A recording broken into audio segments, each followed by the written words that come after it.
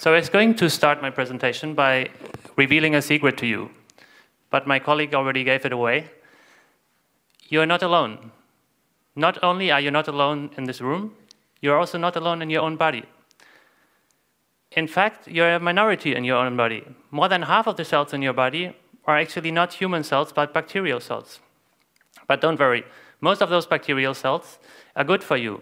And our immune cells are doing an amazing job in keeping those bacterial cells at places where they are not harmful for us. How do our immune cells do this, you will ask?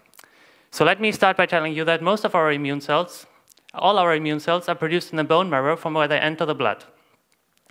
Unfortunately, I can't talk about all immune cells now, but I can talk about the most abundant one, which happens to be the one that I work with, the neutrophil. We all produce 100 billion neutrophils per day, which is a big number and necessary because neutrophils are really the first line of defense and have only a very short lifespan. Therefore, they need to be constantly produced. So how do neutrophils fight bacteria? Neutrophils have three superpowers.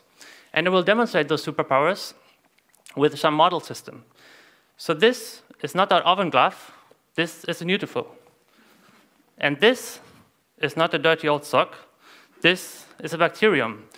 Model systems in biology are not always perfect. This you come quickly to realize.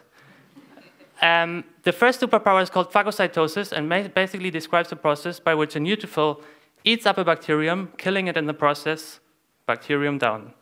The second superpower that neutrophils have is a process that we call degranulation. And basically, it consists of spraying bacteria in your environment with toxic molecules.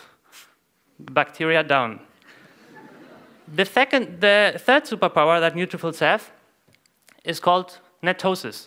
Netosis describes a process that we mostly work on in our lab.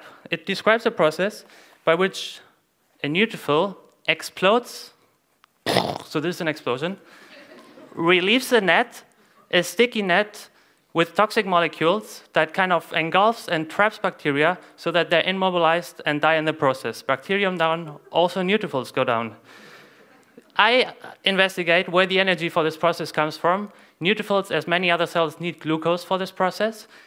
Uh, they use glucose as a sugar. They use this sugar in a very clever way that allows them to use the sugar molecule several times. Um, we, I work with, there are patients that cannot do this recycling mechanism for the sugar molecule. Those patients, in some cases, have elevated levels of infection. I investigate whether those elevated levels of infection are linked to this genetic deficiency and the defect in performing these neutrophil explosions. Thank you very much.